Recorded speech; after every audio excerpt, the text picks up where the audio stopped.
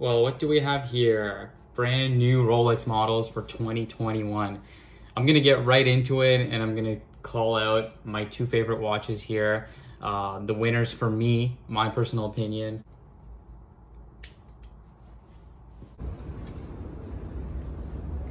First one is the 36 millimeter Explorer. Like, I can't even believe they came back to the 36 mil.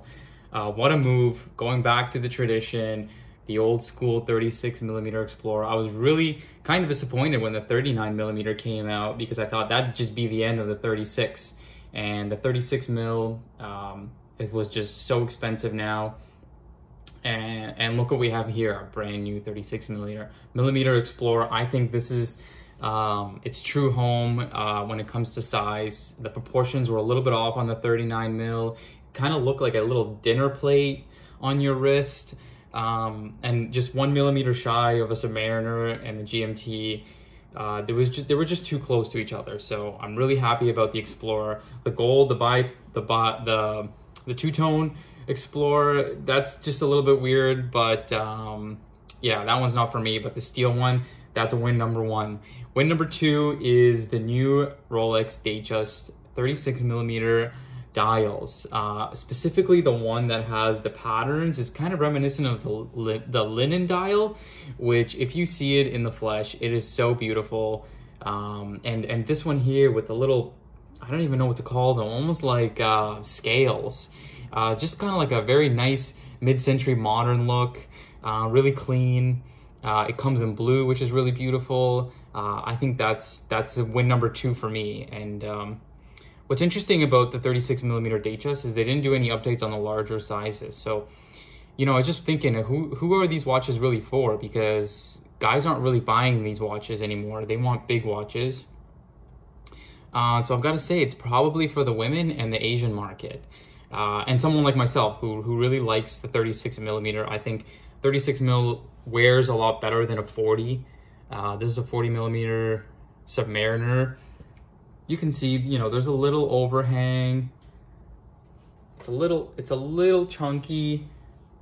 Uh, I think a 36, you can see my hand proportionate to the watch. It, my hand looks a little small compared to the watch. So I think the, the 36 mil Datejust uh, is a really good look um, for the smaller guy for all the females out there and the Asian market. So I think it's be big on that. And then if you do want a bigger watch, then well, you still have the 41s. You still have the 42 millimeter Explorer, which I did not like in this new release. Uh, you've still got the Daytonas. You probably can't get, but the uh, the meteorite the meteorite dials, those are really cool. Um, I really like that. Every watch is kind of unique. That's the catch. That's the catch I think for that. You know, um, the meteorite dials. Um, so I really like that one. The Sky Dweller on Jubilee looks way off. The Jubilee bracelet, I think, is should be reserved for smaller watches with thinner cases. Like a Submariner on a Jubilee would not work because it's too top heavy. And the Sky, Sky Dweller is so thick, it's so big. The Jubilee looks uh, so, so thin, tapered, um, and so it doesn't really work on a big watch. The Batman is back. Uh, hopefully it'll relieve some pressure from the Batgirl. Um, but uh, I mean, that's kind of really just nonsense. You're not gonna be able to get that watch anyways. But yeah, now you can get the, uh, the Batman and the Batgirl, meaning just the Oyster bracelet on the GMT uh, and a Jubilee bracelet. I, I like the Jubilee on this watch. Um, but the Oyster is, is nice too. That's gonna be a hard one to decide. Um, if you have the opportunity to pick. You know, what else is really interesting is these Datejusts, the 36 millimeter Datejusts, um, on a Jubilee, Jubilee bracelet with a um, fluted bezel is actually more expensive than a Rolex Submariner, which is kind of crazy. Uh, so that's one thing I noticed. Um, and uh, yeah, those are my thoughts on the new releases, the kind of watches I like uh, that came out of that um, release. I think it's much better than last year's release. Now, I, I kind of need your help, so give me your advice and what you think the next watch for me would be that would complement a 40 millimeter Rolex Submariner. I'm thinking either a 36 millimeter Explorer on steel versus a Rolex Datejust, which was always kind of my favorite watch.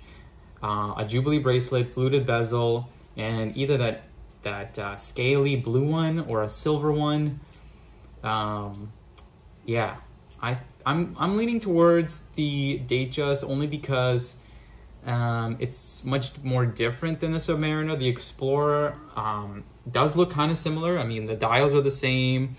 Um, they're both professional watches. I think it'd be fun to have um, two really different watches to complement each other. One on a Jubilee bracelet and uh, and a sports model on an Oyster. So those are my thoughts.